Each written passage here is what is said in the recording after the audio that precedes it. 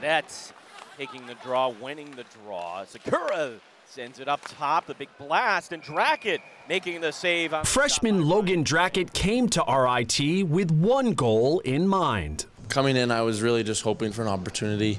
Um, I know that Shorty's a really good goalie, and um, he's made that clear to everyone here. And then same with Ian, he's he came in with the same position as me. So um, coming in, I just really was wishing I could get a good start and, and hopefully get an opportunity. That opportunity came in the Tigers' very first game.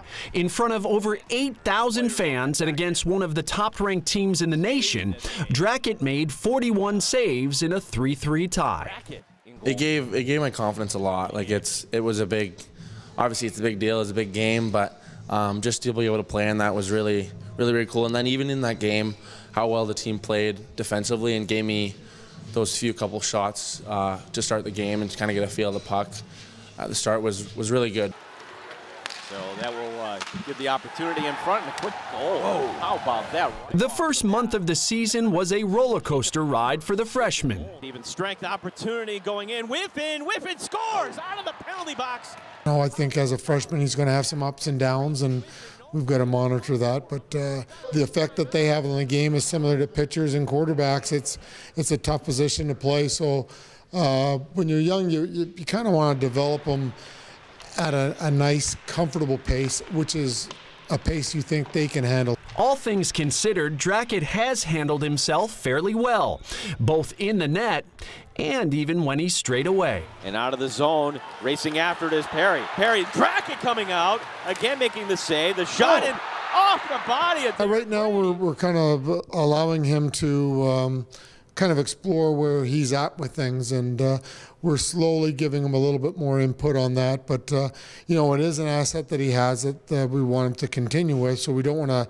stifle it. But he's got to monitor it. Uh, things do happen a little quicker, and uh, some players are a little more, uh, you know, savvy a little bit, and can maybe give you false impressions and, and, pick things off, and, and or get it right back on the net when you're not ready for it. So.